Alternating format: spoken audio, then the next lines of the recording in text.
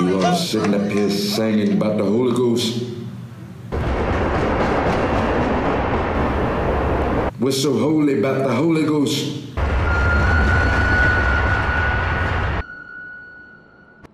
You're supposed to be alive, your heart kicking in your chest with a song worth singing.